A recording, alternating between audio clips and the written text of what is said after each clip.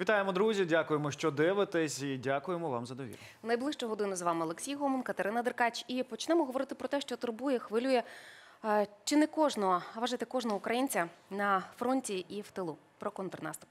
Росія буде в паніці, коли почнеться контрнаступ. Про це сказав британському виданню The Independent заступник міністра оборони Володимир Гаврилов.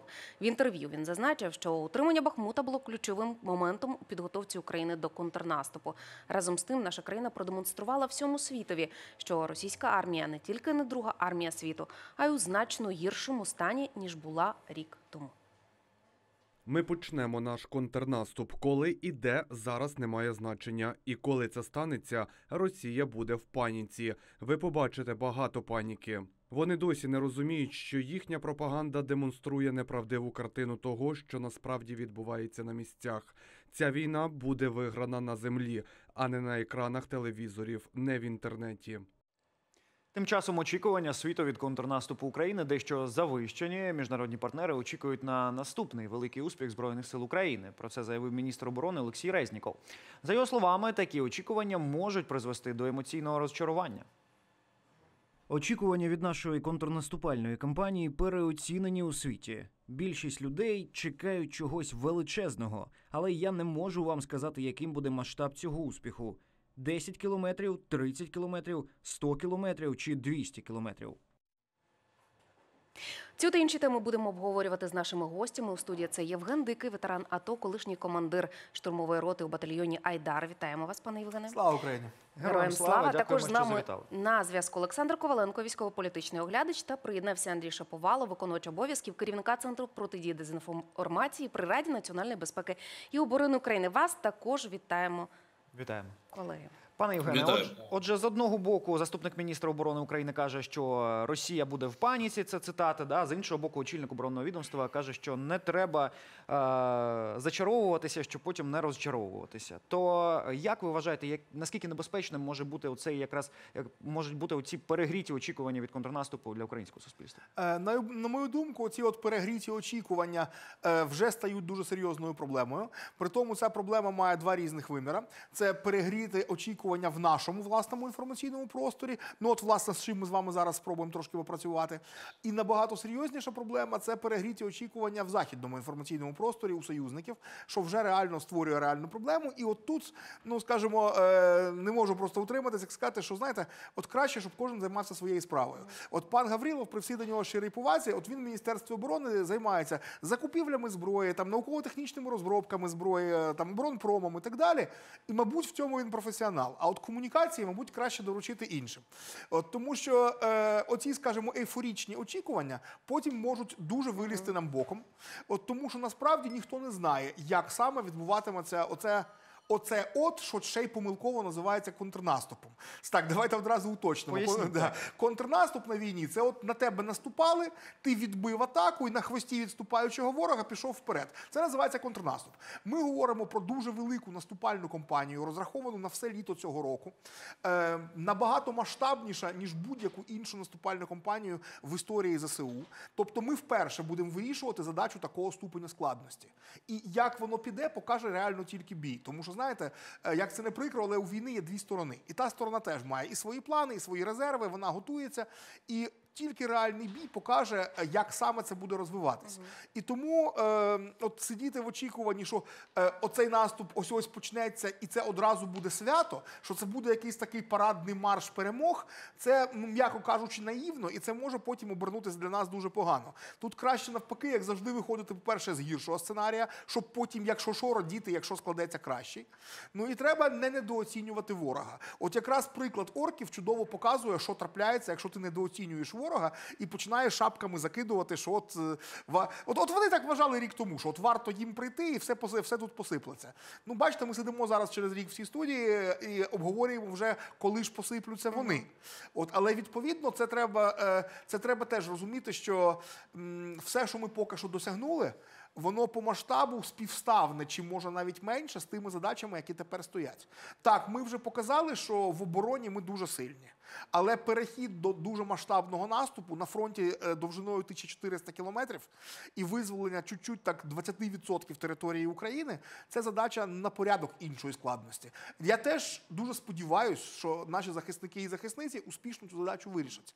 Але сподівання і от таке от очікування, знаєте, е, от мені наше суспільство трошки зараз починає нагадувати оцих е, футбольних вболівальників, які, знаєте, сидять перед ящиком і скандують «надо гол, надо гол. Ну я розумію, що надо. Але з цього ж ніяк не витікає, що це буде так легко. Навіть при кращому для нас розкладі це буде дуже важка робота, яку мають виконати десятки тисяч людей. При тому синхронно, одночасно по одній. Це навіть при хорошому розкладі, це в будь-якому разі буде дуже важко і, на жаль, з великими жертвами. А розклад ще й не обов'язково буде хорошим. Тому нам треба настроюватися на те, що цей наступ неминучий, ми не можемо в нього не йти, але не чекати його як свята, а сприймати саме як дуже важку надзадачу.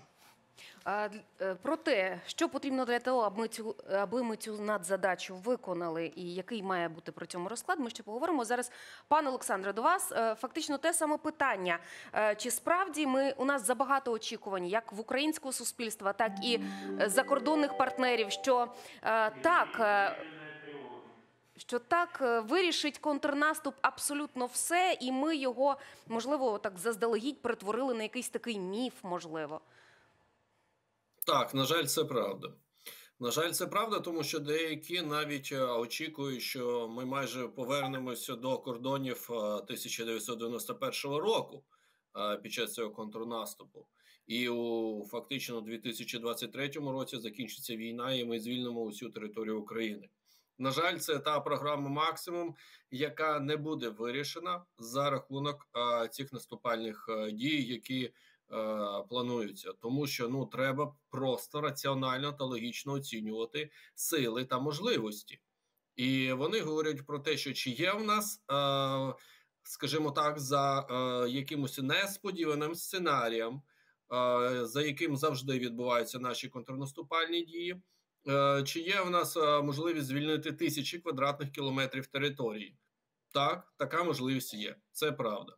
Чи є в нас можливість звільнити 10 тисяч або більше е, квадратних кілометрів території? Безумовно, такий варіант також є. Але повернення до кордонів 91-го року ні, е, це неможливо.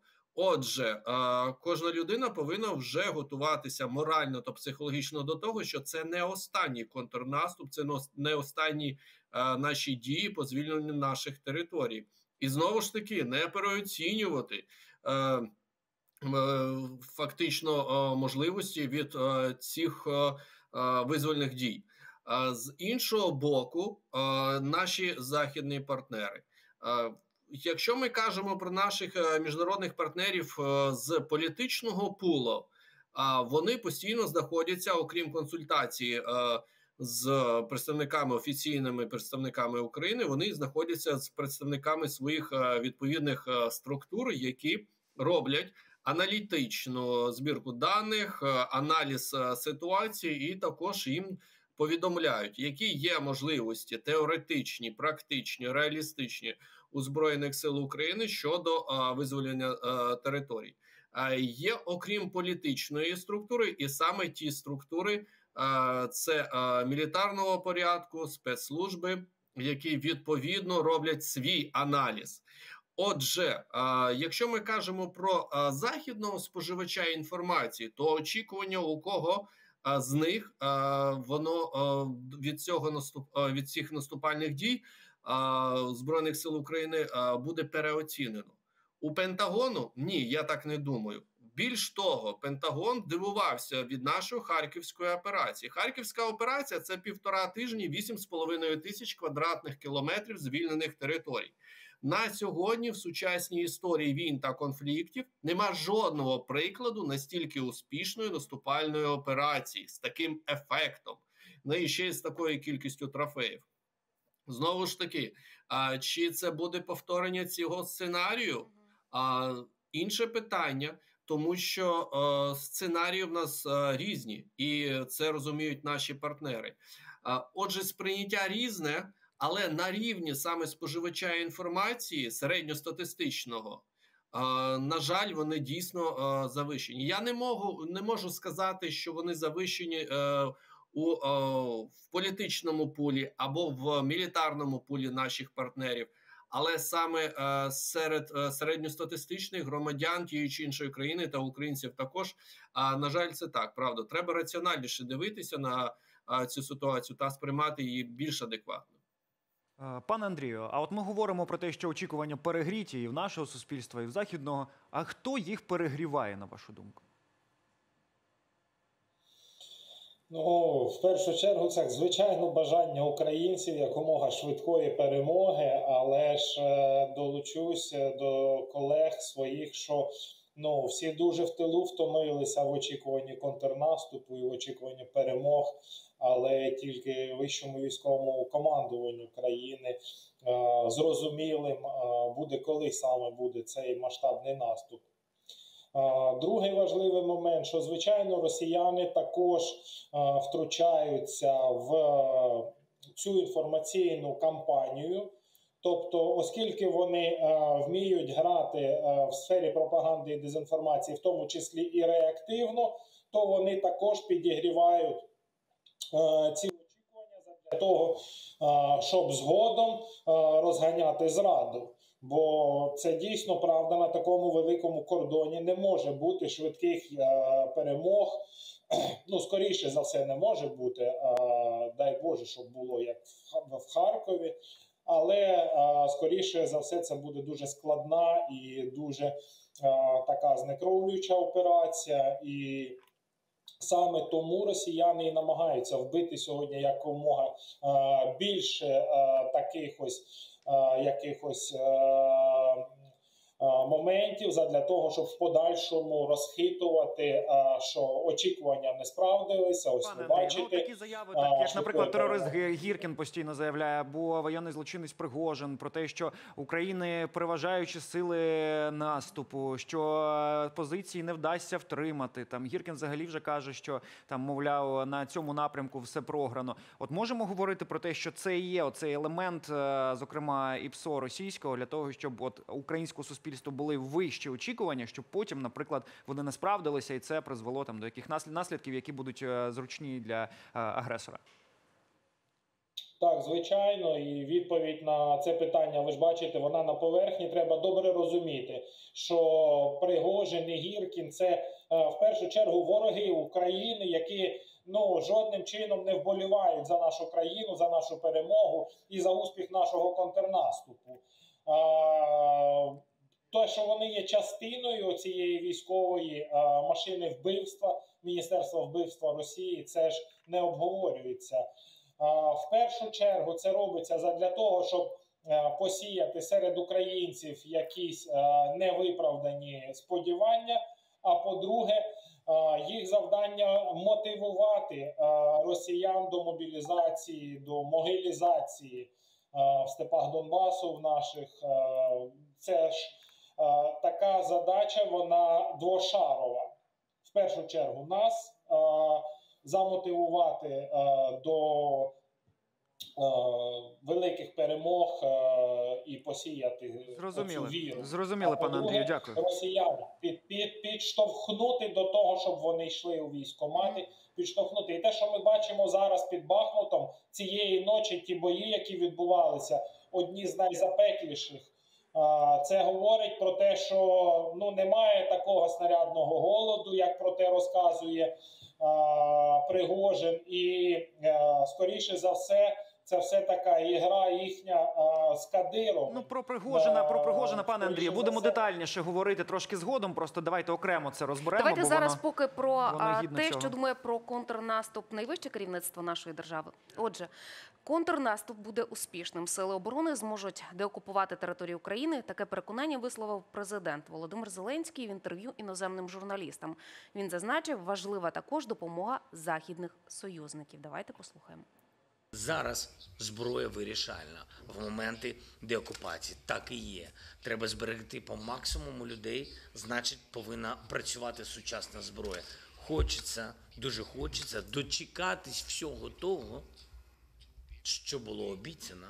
Ну і скажу відверто, звертаємо увагу на погоду також.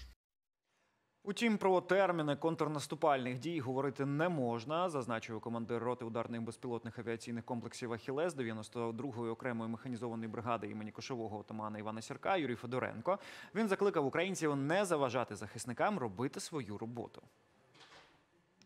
Не потрібно робити ключову ставку, що нібито це останній бій, і на тому все закінчилось. Ні, контрнаступальні дії це той захід, який допоможе нам деокупувати частину території і посилити наші позиції, в тому числі і в переговорному плані з нашими міжнародними партнерами, дати можливість Україні отримати додатково необхідну техніку та боєприпаси для деокупації наших територій в межах 1991 року.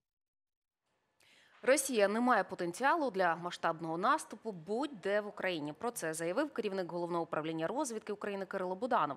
Разом з тим він відзначив, що країна-агресор має достатньо сил для оборони. Також він додав, що Російська Федерація намагається накопичити достатню кількість ракет, щоб зірвати контрнаступ. Станом на зараз Росія не має ані військового, ані економічного, ані політичного потенціалу для здійснення спроби масштабного наступу будь-де в Україні.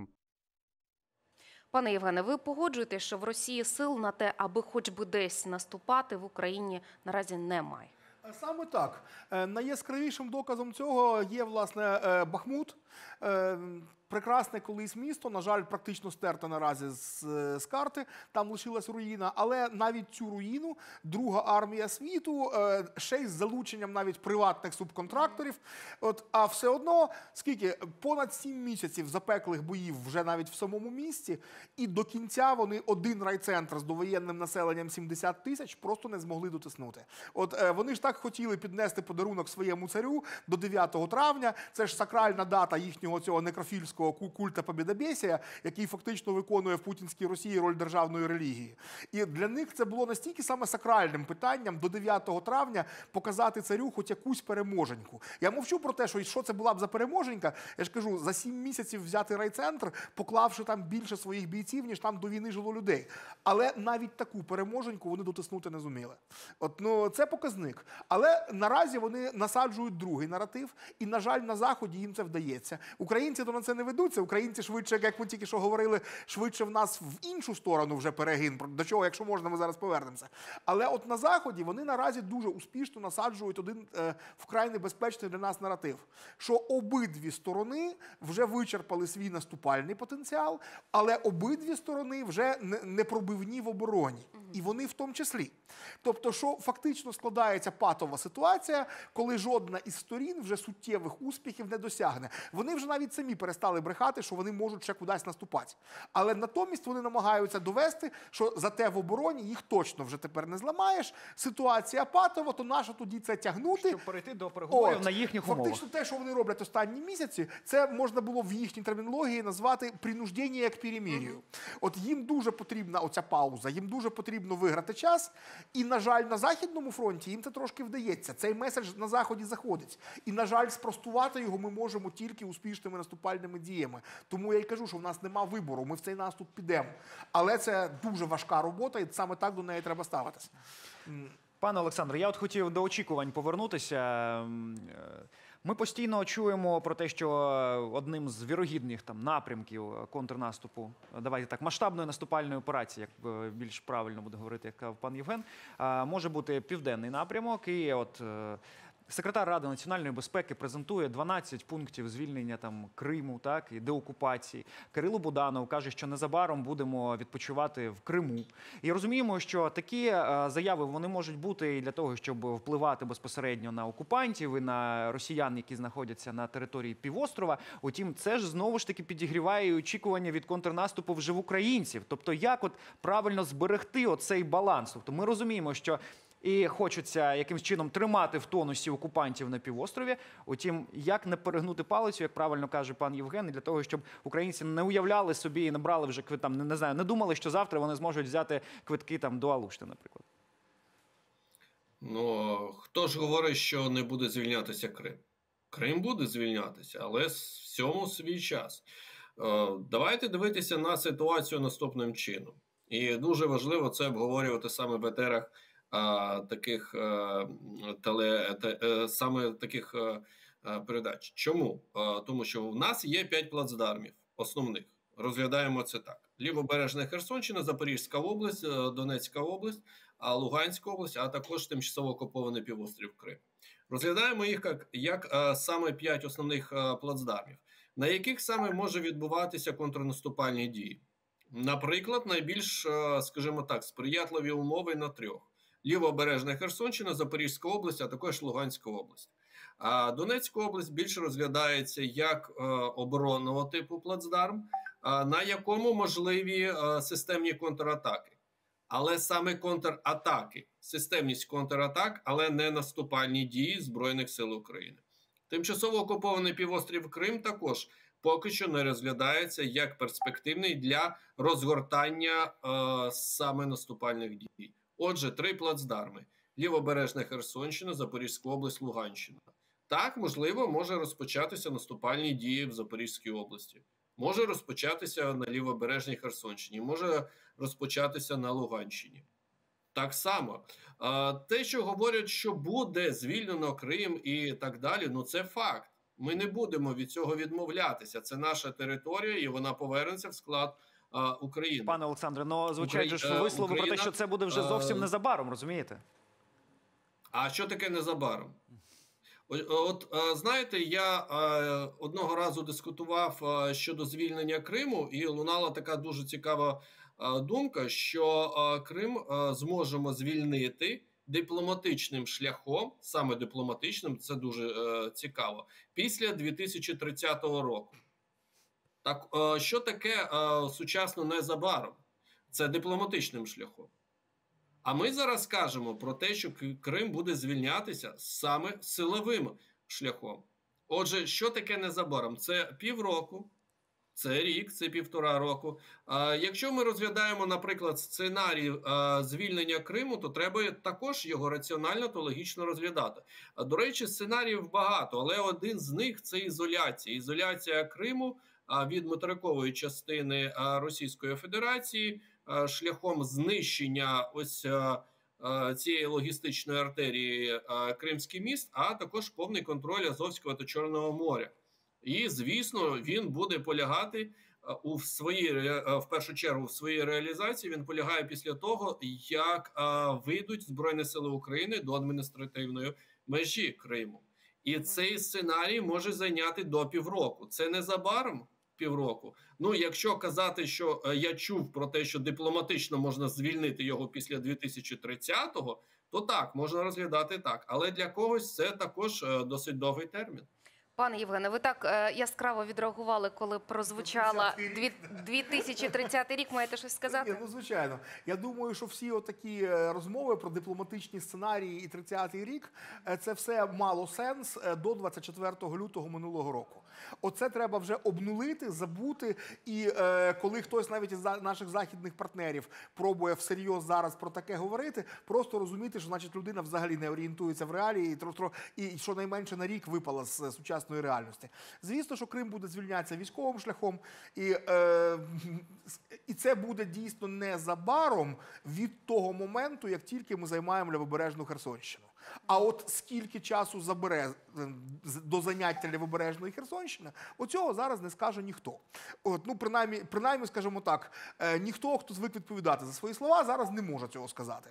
Бо ми не знаємо, як саме. Власне, ми знаємо про оборону ворога дуже багато. Ми знаємо, де вони, які там царя копи нарили. Ми знаємо всі їхні там оці е, укріплення. Але це ні про що не говорить.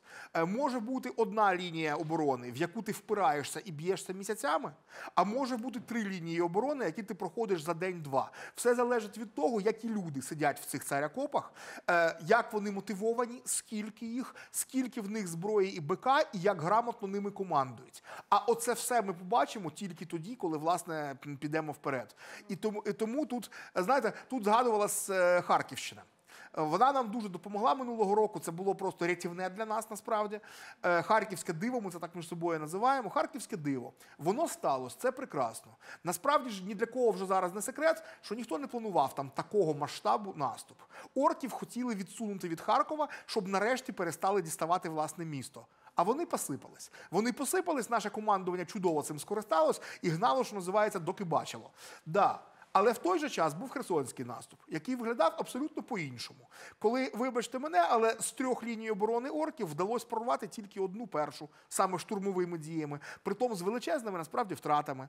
А далі довелось перейти до зовсім іншої стратегії повільного видавлювання. Ця стратегія чудово спрацювала, ну бо там було чотири мости, і вся вся логістика була зав'язана на них. На жаль, на тій території, яку нам треба звільняти зараз, от подібна ситуація тільки з Кримом. От коли ми вже до нього дійдемо, там можливі самі різні варіанти. Він дійсно острів. Але до нього ще треба дійти. І як довго цей шлях забере, наразі ну саме відповідально не може сказати ніхто. Очевидно, що цей шлях треба пройти. Але це, скажімо так, не будемо людей підганяти. От, Шлях буде не коротким. Можна я пану Андрію? Раз за Крим говоримо. А, пане Андрію, а, Олексій згадував 12 кроків до окупації Криму від а, пана Данілова. Я можу е, назвати буквально три з них. Із його посту на Фейсбуці це кримінальне переслідування російських пропагандистів, демонтаж Керченського мосту. Ну і давайте ще візьмемо цей майбутню появу в Криму пам'ятника російський військовий корабель йде за відомим напрямком. Можемо тут усміхнутися, а насправді, е, як на вашу думку, ми будемо повертати Крим? Е, Зробіть акцент на е, гуманітарну політику, на інформаційну. Як? Бо це ваш профіль. Ну, що стосується слів секретаря ради, я можу сказати тільки про кримінальне переслідування пропагандистів. Вони мають добре розуміти, що їм не буде спокійно жити а, ніде в світі аж до їхньої смерті. А, це перше. А по-друге, що стосується гуманітарного повернення, а, я думаю, що не треба перебільшувати сьогодні це питання і перегрівати увагу, скажімо так, до цього питання. Е, Людям треба дати е, спокій і роботу, е, як каже в тому числі і секретар е, Ради національної безпеки і оборони, і все воно заспокоїться само по собі. Бо е, і сама анексія Криму, оскільки вона була проведена в незаконний шлях, оскільки вона була проведена всупереч е, бажанню кримчан. е, Тому і деокупація е, вона відбудеться логічно і, в принципі, таким природнім шляхом. Зрозуміло, пане Андрію. Хотілося б ще тему обговорити. Побачили останнім часом. Можливо, ви теж звернули увагу на анти антиамериканську риторику. Здебільшого вона посилилася у федеральних засобах масової інформації. Зокрема, це відбулося після атаки дронів по Кремлю, після вибуху автівки посібника окупантів Прилєпіна. Вони почали напряму звинувачувати Вашингтон. Мовляв, ви за вашою за вашим сприянням, от е, Україна там чинить такі акти. Так. На фоні контрнаступу посилення антиамериканської риторики. Чи може це свідчити про те, що коли, наприклад, якщо, якщо і коли буде проведена успішна наступальна операція силами оборони України, таким чином можна буде пояснити власним громадянам, що мовляв, це не українські сили оборони нас атакували, а такі, типу, як колективний захід, НАТО і так далі. Бо реально я помітив, що дуже у російській пропаганді посилилася оця антиамериканська риторика. Вона стала ну сильнішою ніж було раніше. Ну, знаєте, кріпаки дуже не любили пана, а пан про те і не здогадувався. Е, Оце е, історія про їх е, наскоки ці на, Америку, на те, що за всім цим стоїть НАТО, Америка. Це звичайно риторика спрямована в першу чергу всередину країни для власної аудиторії, про те, що в них. Фактично третя світова війна вже відбувається. Е, З іншого боку, це е, знову таки намагання е, погрозити своєю ядерною зброєю, і те, що ну, постійно говорить і Медведєв, там те, що постійно ці всі посіпаки, давайте вдаримо, давайте вдаримо. Це їх ну, бажання затягти в дискусію, в тому числі і Сполучені Штати. Але ми бачимо, що ну, всі ці спроби вони е, ніц абсолютно нічого не, не значать. І весь світ сьогодні ставиться до Росії як до не просто спонсора тероризму, до країни спонсора тероризму, а до країни терориста. причому не сповна розуму. І тому сьогодні всі їх оці намагання підняти себе на рівень, що нібито вони воюють з Америкою. Оця вся антиамериканська риторика. Ну це абсолютно і ПСО спрямовано всередину власної країни. Назовні йому немає жодної довіри. Пане Олександре, от пан Андрій сказав, що намагаються преподнести це з російському суспільству як третю світову, як народну війну. От на вашу думку, до слова, ця війна її змогли зробити народною для російського суспільства. Ми бачимо, що нібито підтримка е, воєнних дій на території України ніби є. Утім, саме йти, брати до рук зброю, і воювати, бажаючих ще не так багато. Так, дійсно їх небагато. Останній раз, коли вони об'являли свою часткову мобілізацію, так зване, що там відбулося? Їм треба було призвати 300 тисяч особового складу, а в них з країни втекло майже мільйон а, працездатних чоловіків. Ну, от і результат. Е, Вони зараз не об'являють е, чергову якусь часткову мобілізацію, полу повну, або якусь там можуть якийсь ефемізм, ефемінізм ще е, вигадати, щоб її пояснити, тому що вони розуміють, що це може, ну м'яко кажучи, ще їх позбавити мільйона населення, е, яке втече з Росії в Монголію. Така їм чи, Е, Монголія їм чи є, чи є різниця, пане Олександре? країна ніж Росія. Ну, от ви кажете, що ну втече ще мільйон. Ну втече. А є якась різниця для Кремля?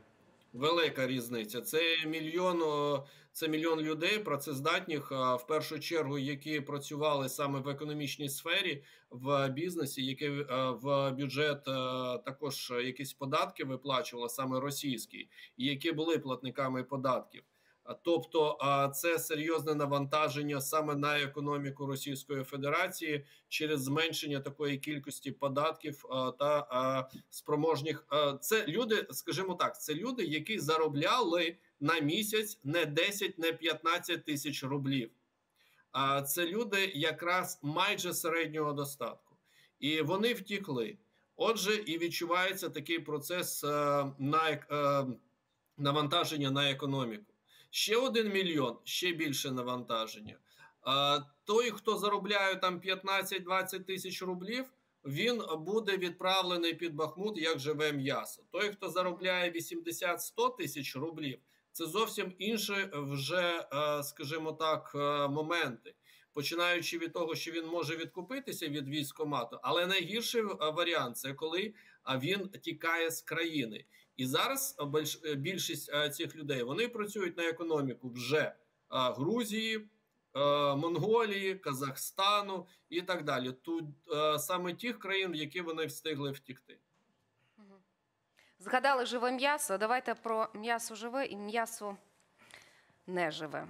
Розбірки ватажка ПВК Вагнера Євгена Пригожина з Міністерством оборони Росії має на меті виключно відведення уваги від дійсно важливих речей. Про це у Твіттер написав радник голови офісу президента Михайло Подоляк.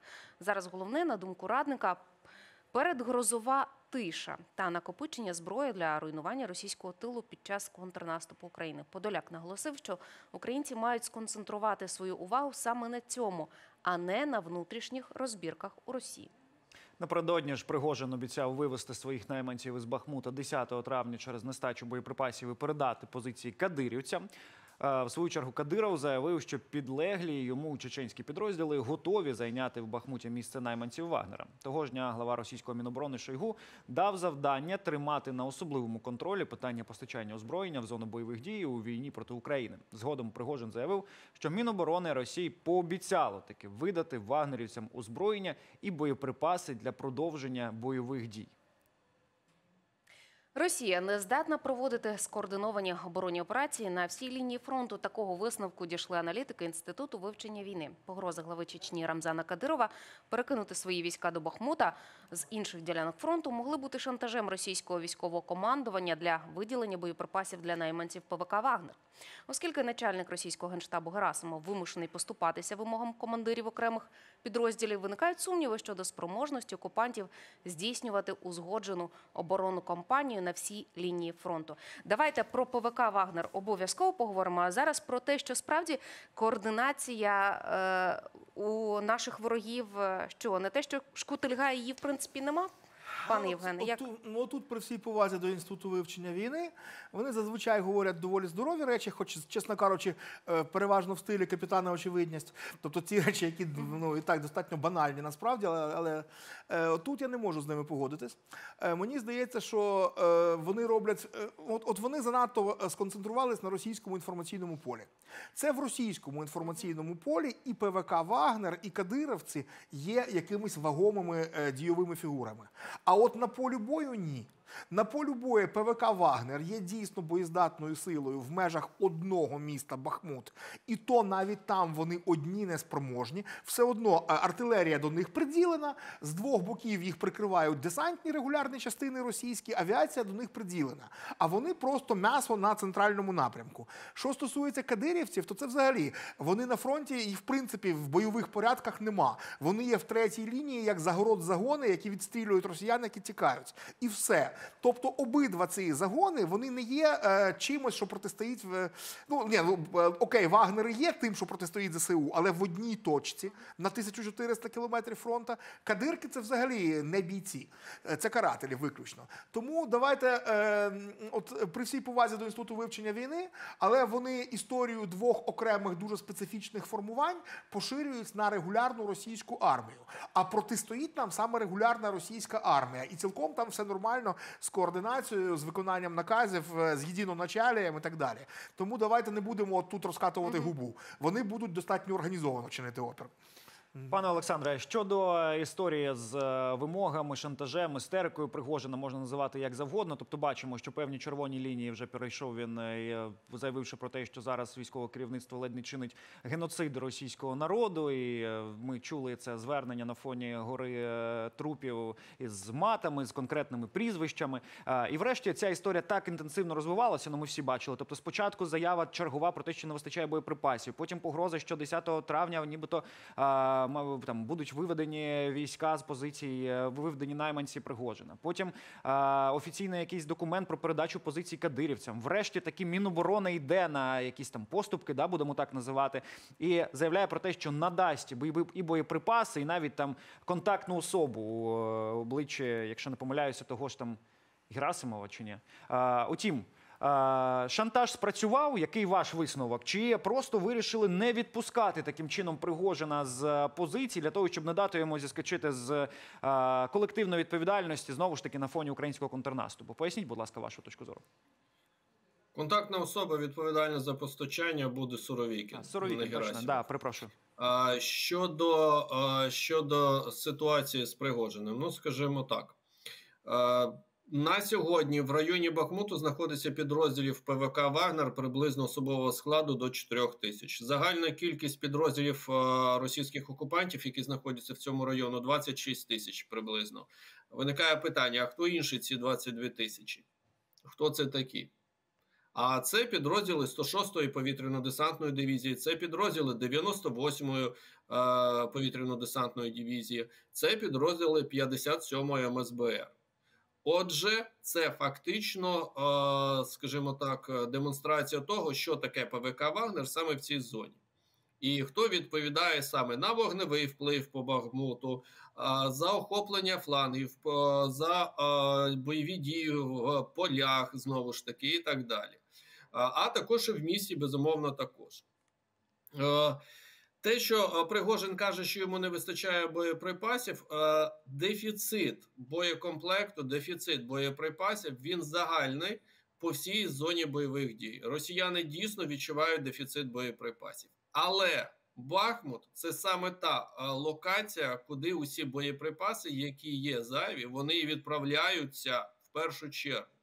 З наявності усіх е, тих е, усього того боєкомплекту, який треба пропорційно розподіляти, вони все концентрують в першу чергу саме на Бахмут. Тому це найгарячіша точка. Коли він каже про те, що е, їм там щось не вистачає, брехня, як можна вірити взагалі Пригожин? Пригожин це, ну скажімо так, е, він не військовий, він не є якимось геніальним стратегом або тактиком. Ну, він, е, скажімо так, базово він зек. Почнемо з цього. Потім він робив хот-доги. А потім він вже е, пройшов через Путіна до успіху, і е, зараз він е, керує ПВК Вагнер. Загально ПВК Вагнер це що таке приватна військова компанія? Приватна військова компанія дійсно, і Євген повністю я з ним згоден. ПВК це гібридна структура, яка виконує окремі гібридні функції. Пане Олександре, Але 30 секунд, саме будь ласка, бо обмеження в часі, на жаль. функціонал в повномасштабній війні він не є повноцінним. І цей функціонал ми бачимо, як вони не можуть повноцінно виконати навіть в маленькому містечку Бахмут. А в Африці десь гібридно, або в Сирії, або в Венесуелі, так, вони можуть це робити. В, масштабах повномасштабної війни ні, ніколи. Але тут з'являються кадирівці. І тут найцікавіше, а в якому функціоналі вони там з'являються? Дійсно, як заградотряд, або як живе м'ясо, е, яким були і залишаються вагнерівці. Я не думаю, що їх будуть використовувати як живе м'ясо. Це ж буде скандал та конфлікт. І тут починається найцікавіше танго. Танго втроєм, так, так, е, так би мовити. Е, Вагнерівці, десантура і кадирівці. Тобто зараз там такий буде токсичний е, мікс, е, який я не знаю, мабуть, може спровокувати якісь внутрішні дуже цікаві події. Пане Олександре, вимушені завершувати. Дайте, будь ласка, тільки коротку відповідь. Е, Все ж таки починали з того, чи спрацював шантаж Пригожина щодо боєприпасів. Ваша думка яка? Моя думка, це був інформаційний кілінг, не більш Зрозуміли. того. Зрозуміли. Дякуємо. Пане Андрію, а можна вас запитати про е, те, що отакі от танці втрьох. Е, е, Пан Олександр сказав танго втрьох. Хай це буде ча-ча-ча чи будь-який інший танець, але оці розбірки, оці конфлікти, вписування одне за, за одного, конкретно там Пригожина і Кадирова, зокрема, вони справді відволікають увагу від дійсно важливих речей, про які говорить Михайло Подоляк. І якщо так, то від яких і як можна цьому протистояти?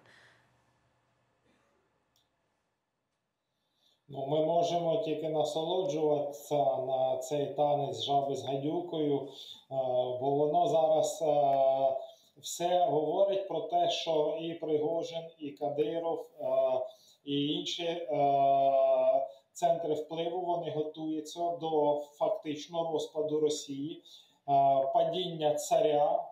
І е, фіксують своє місце е, в цій черзі на спадок, е, який лишиться після того, як е, завершиться оця їх операція, і е, закриється ловушка під назвою Росія, е, яка е, поглине в процеси розпаду, поглине в процесу в процеси. Е, неконтрольованого розпаду, і це для них найстрашніше. І в цьому випадку і Кадиров, і Пригожин вони намагаються поставити свою позицію як альфа-позицію, а, як ті, хто мають право на подальше на подальший розподіл.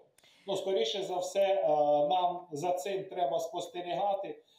Вони, в принципі, в цьому інформаційному полі все, що можна зробити не так, е, вони все, все роблять е, саме так, як е, нам, нам треба.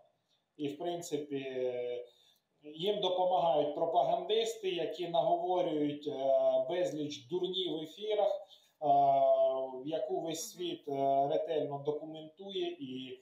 Е, Ми, як центр протидії е, дезінформації, документуємо, і я переконаний, що в подальшому це все стане доказовою базою для винесення вироку в Гаазі е, і воєнним злочинцям, і тих, хто закликав до геноциду в Україні. Дякуємо, почули. Від себе додам. Нехай цей танець в трьох чи в скількох там, хай буде в чотирьох разом з Путіним, перетвориться на танець смерті. Дякуємо. Олександр Коваленко, військово-політичний оглядач, Андрій Шаповало, виконувач обов'язків керівника Центру протидії дезінформації при Раді національної безпеки оборони України, були з нами. Дякуємо, панове. Пане Євгене, мусимо підсумовувати. Давайте, будь ласка, для наших глядачів ще раз проговоримо. Дивіться, дехто каже там, та не читайте ви того е, Медведєва, не читайте того Пригожина, це все вороги. Вони і ПСО просувають свої наративи. Утім, Ну розуміємо, так Пригожин це командир е, е, загону, який воює проти нас на передовій. Так, е, Медведєв це е, окрім того, що він е, там колишній президент країни-агресора, він ще й заступник там секретаря Радбезу. Тобто не звертати уваги зовсім на їх заяви, можливо, теж неправильно. От як а, втриматися від того, щоб там. Е, Сприймати це сухо, суто, як там можливо там інформаційно, і розуміти, що це може бути елементом пропаганди, а не от зачаровуватися, як ми казали на початку ефіру. Так. Е, Ні, ну от якраз я б сказав, що а чому би ні? Насправді, е, от якраз давайте про те, що пов- е, от, от розділимо, е, як там мухи окремо, котлети окремо. От давайте на те, що відбувається по той бік фронта і по той бік перебріка, от давайте саме дивитись, от як на футбол, от з попкорном, з пивом, і дивимося це от е, шоу, е, в шоу варіатів, насправді, от е, людей, які вибудували свій окремий абсолютно всесвіт, в якому вони живуть. Е, Якісь там можуть видатися більш вміняємими там на ждаток Гіркіна, якісь зовсім невміняємими, на, на, як Алкаш Медведєв. Але в принципі вони всі живуть в абсолютно кривому світі, дуже далекому від реальності. Тому поспостерігати за їхніми цими жабогадюками. Чом би ні? А от зовсім інша історія, те, як ми маємо дивитися на те, що по наш бік фронту. І отут я б закликав все ж таки. Е, перестати бути просто глядачами і згадати, ким ми були рік тому. От рік тому е, ми всі були на одній інформаційній абсолютно хвилі, і ті, що тримали зброю в руках, і ті, що їм патрони підносили, і ті, що напряму ніби ніяк задіяні в обороні не були. Але ми всі жили в одному інформпросторі, об'єднані оцим, от власне, ну е, розумінням того, що на кону в принципі доля нашої країни, що її просто може не бути, якщо ми щось зробимо не так або щось не доробимо. А зараз так вийшло, що наші захисники і захисниці настільки добре роблять свою роботу, що значна частина суспільства практично перестала цю війну відчувати. Ну там час від часу повітряні тривоги щось там нагадують. Ну але це так, е, легке нагадування. Е, в тому то й справа, виник парадокс. ЗСУ настільки якісно за нас з вами воюють, що в нас виникла можливість розслабитись. І тому виникає звідси, а звідси виникає оце так, а щось давненько не було переможних переможеньок. Я тут сижу перед, перед ящиком, і я вже втомився. Покажіть мені в ящику чергову переможеньку, ну вперед в наступ. Так от, замість цього, давайте ми ще раз згадаємо, що наступ це дуже важко. І після цього задамо собі питання: не питання, коли буде наступ, не питання, де саме почнеться, під Оріховом на Запоріжжі, чи на лівобережному плацдармі, чи там де. От, а задамо собі питання: а що кожен з нас для цього наступу зробив? А зробити треба насправді не менш ніж рік тому. Е, Безліч людей е, мобілізовані і зараз готуються до цього наступу. От хто коли востаннє дзвонив якимось друзям, знайомим, приятелям, питав, чи все в них є. І просто мовчки докупав до села в секунд, те, чого не вистачає. Хто коли востаннє кров здавав, а поранених буде дуже багато. Банки крові треба наповнити. Та саме просте, хто коли востаннє задонатив на якісь волонтерських фондів. От давайте кожен з нас задумається над цим і зробить отакий маленький внесок в цей майбутній е, наш контрнаступ. Будемо вже будемо вже так його називати, Бог з ним. І власне, е, от якщо ми сконцентруємось на цьому, то заодно якраз і пропаде оце бажання підганяти когось в спину, підштовхувати, а ну вперед наступайте. Наступатимуть тоді, коли для цього складуться найбільш об'єктивну, найбільш, скажімо, прийнятні обставини. Ідеальних не буде ніколи, але будуть вишукувати найкращий момент, і тоді ми все побачимо. Дякуємо, пане Євгене, Дякую, і пане за надихаючий, і за раціональний такий фінал. Євген Дикий, ветеран АТО і колишній командир штурмової роти у батальйоні Айдар, долучався сьогодні до нас. Говорили про те, як працює російська пропаганда в контексті через призму е, перечуття українського е, української операції з наступу. Ну і рухаємося далі. Далі давайте поговоримо про те, що ми можемо робити в тилу, як ми це робимо. Поговоримо про ринок праці, який перипетій він наразі переживає. Від початку повномасштабного вторгнення близько 40% українців втратили роботу, та так і не знайшли її. Здебільшого безробітними залишаються жителі сходу країни, жінки, бідні верстви населення та тимчасово переміщені особи. Про це повідомили у соціологічній групі рейтинг. Найскладніша ситуація близько до зони бойових дій. Там на одне робоче місце претендували майже 30 осіб. Водночас ринок праці цього року може відчути і нестачу кваліфікованих кадрів. Це пов'язано з тим, що багато спеціалістів виїхало за кордон. Е, Розбиратися у цій темі будемо із Василем Воскобойником, президентом Всеукраїнської асоціації компаній з міжнародного працевлаштування. Вітаємо вас. Вітаю студія. Чи дійсно нині не вистачає кваліфікованих фахівців і в яких сферах в першу чергу? Бо розуміємо, що ця проблема із тим, що багато мізків, скажімо так, виїхали за кордон, рятуючи власне життя. Потрібно спочатку чітко усвідомити цифри. За даними європейських урядів, в Європі перебуває приблизно 5 мільйонів українців. Е, У Росії та Білорусі приблизно від 900 тисяч до 3 мільйонів.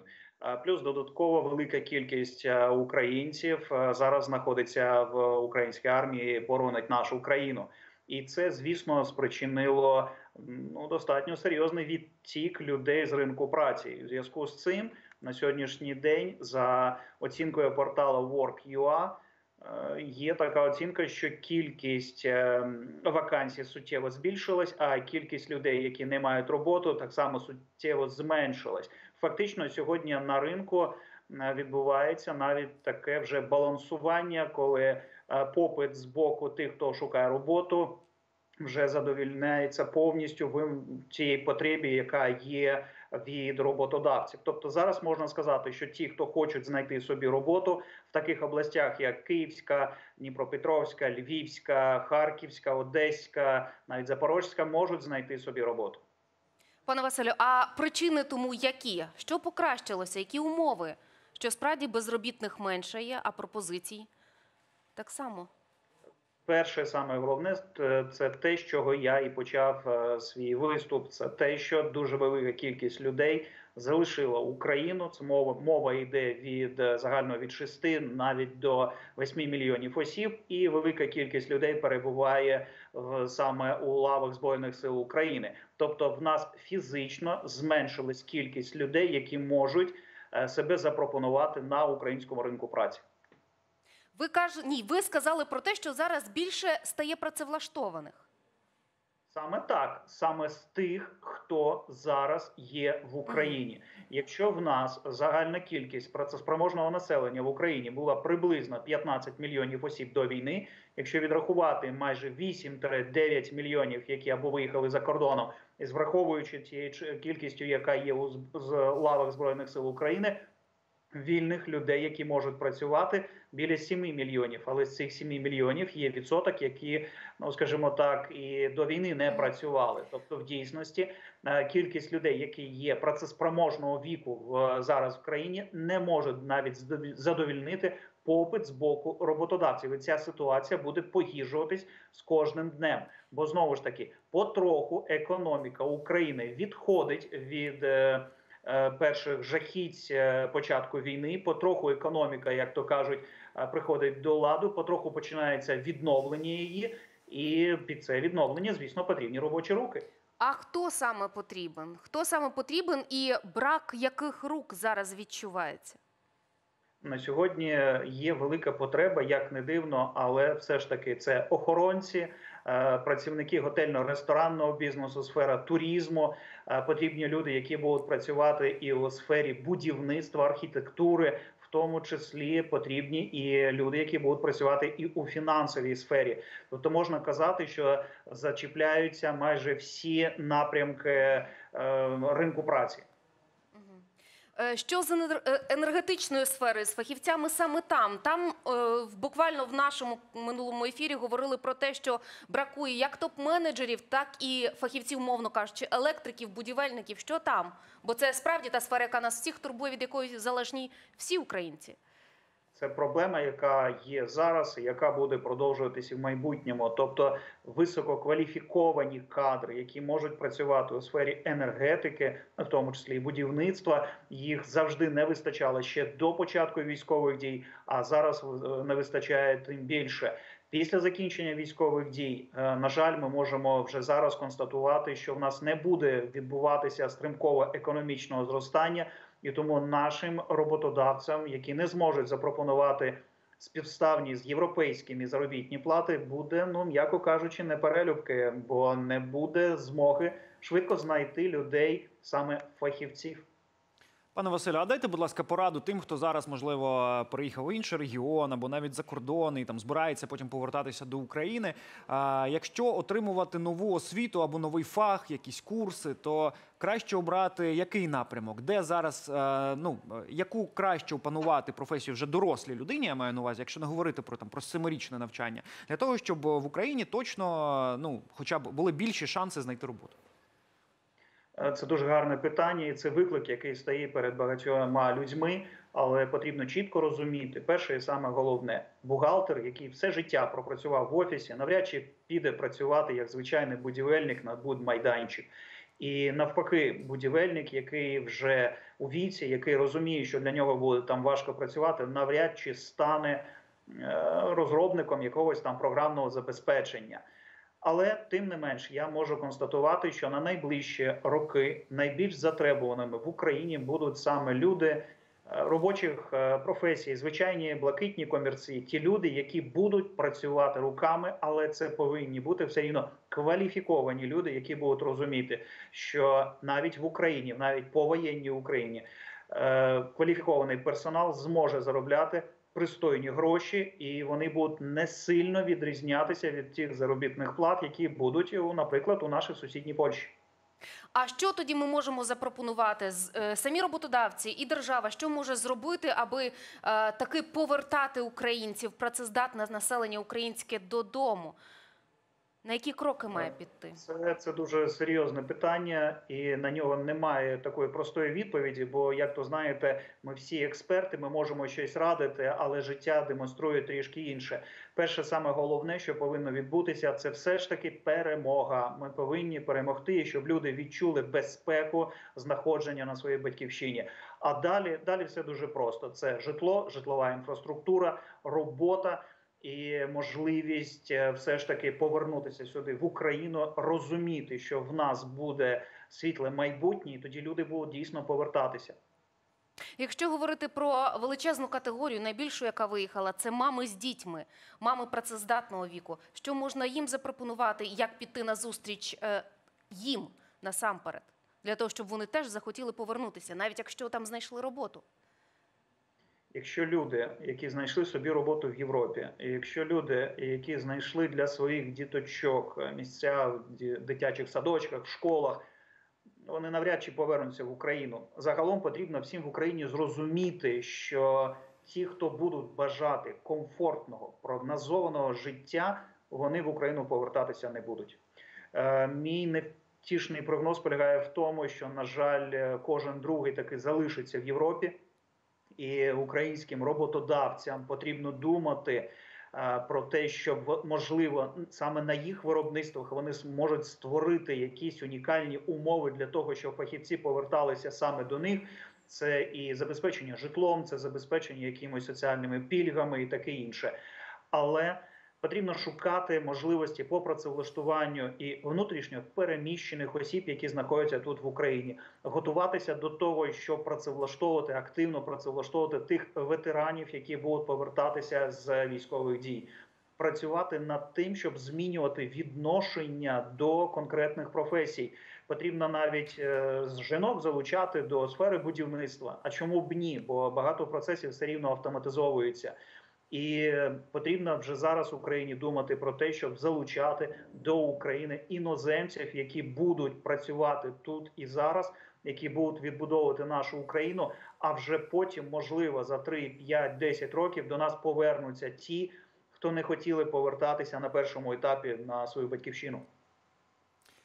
Дякуємо вам дуже, що допомагали розбиратися. Говорили сьогодні про те, як допомогти, як залучити українців, які поїхали за кордон е, до того, щоб е, вони повернулися, та які сфери зараз най, найбільш популярні, якщо ви, наприклад, в умовах війни вирішили змінити спеціалізацію. Е, Розбиратися у всьому допомагав нам Василь Воскобойник, президент Всеукраїнської асоціації компаній з міжнародного працевлаштування. Дякуємо вам дуже, що були із нами.